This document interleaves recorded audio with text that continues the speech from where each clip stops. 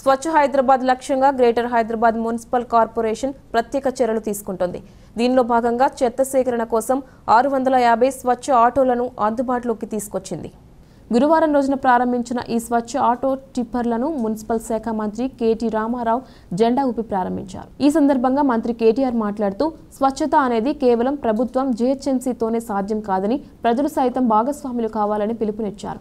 మహమ్మారి మళ్ళీ విజృంభిస్తున్న వేళ స్వచ్ఛత చాలా అవసరమని దీన్ని ఒక ప్రాధాన్యంగా తీసుకొని ప్రతి ఒక్కరూ బాధ్యతగా వ్యవహరించాలని అన్నారు. ఈ కార్యక్రమంలో వీరితో పాటు మంత్రి తలసాని శ్రీనివాస్ యాదవ్ శాసనసభ్యులు Danam Nagender mayor Gadwal Vijayalakshmi deputy mayor Srilatha Shobhan Reddy తదితరులు పాల్గొన్నారు.